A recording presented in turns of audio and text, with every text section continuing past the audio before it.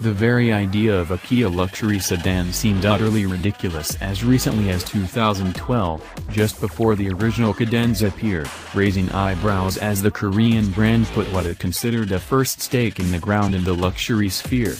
But as we took our first spin in the second generation 2017 Cadenza and adjusted the gap distance for the radar cruise control, no one was impressed with the fact that a Kia even had radar cruise control.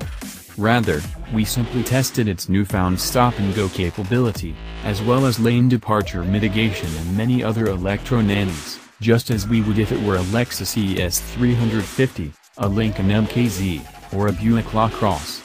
This near luxury sedan segment remains fiercely competitive even as total sales slacken against the rise of plushly trimmed crossover vehicles. So, yeah, the idea of Kia doing luxury is no longer novel.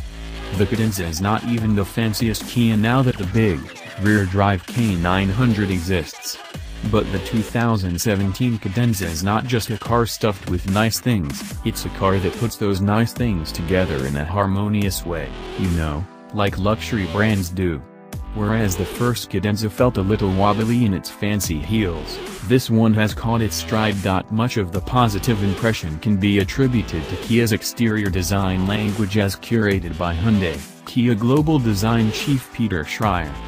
Few of the brand's cars wear it as well as the new Cadenza. No longer looking like an engorged Optima, the new model takes a strong stance with tall, clean body panels, made of heavier gauge, more dent-resistant steel, says Kia, sizable fender flares, and a high, ducktail trunk.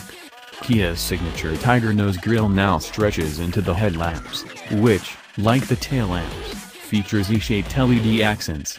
The steep windshield leads into a longer,